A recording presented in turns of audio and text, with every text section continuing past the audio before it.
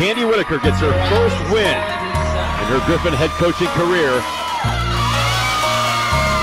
as Missouri Western defeats Minnesota Duluth.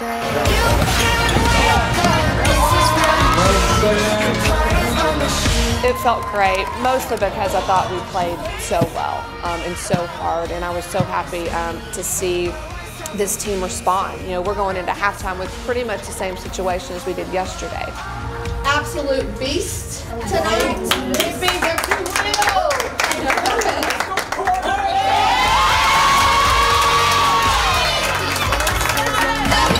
thought our post players were outstanding.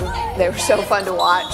They both, you know, I think played as well as you can play. Coaches told us basically use our athleticism to take them to the hole. So that's basically what we did. We just had to outwork them. That's what coach really told us. Make sure we outwork them, out tough them. You know, we haven't played them a lot together, but obviously this has opened my eyes. And, um, you know, and we, with Stoss out and, and Corbin's performance yesterday, we felt like we needed um, to have them both on the floor and, um, and take advantage of, of their ability to score. I think more than anything, we come away from this tournament with a lot of belief in ourselves that we can compete um, and win games. Right? Okay, you have a chance to be good. Okay, that team's ranked. Okay, you have a chance to be good. You got to come to work every day, okay, with high expectations for yourself and your team this year.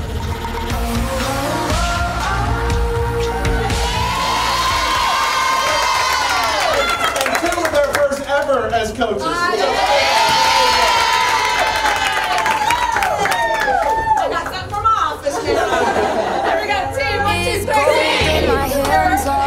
cold.